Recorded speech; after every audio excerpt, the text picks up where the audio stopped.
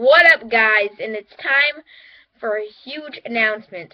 I have fit. I mean, I have hit 15 subscribers. This is great.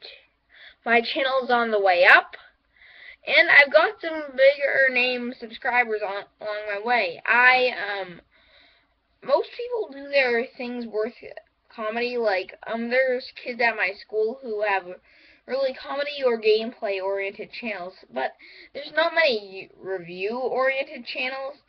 Um, I think I might return to gameplay or something, but I would like to tell you that I have enjoyed this so far, and I think my new topics that I've picked up are much more interesting than Roblox footage.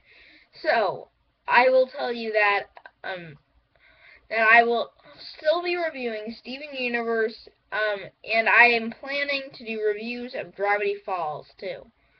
Um, I would like to record, I would like to just do some reviews on older episodes, and I'd also like to do some episode re reviews on other shows too.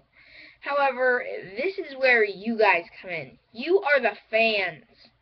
And I am going to ask you, comments if you can, post or put down two more shows that you'd like me to pick up for vlogs. I am already doing Steven Universe and I'm doing Gravity Falls.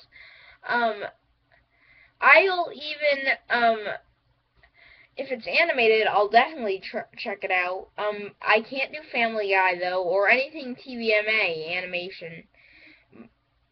But anything like that, I will check it out, and I'll tell you how I think. Um, let's see. I'd I'd like to do. I've started working on some collabs with Retuned, as I I've been saying. Saying my live stream has been put off uh, a few weeks because you know Steven Universe is jam packed with theories.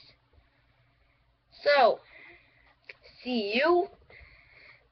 You when I'm back from New York. I will do my best to get videos out during and eventually I'll have a huge vlog of my adventures in New York. So, so the Lord is out.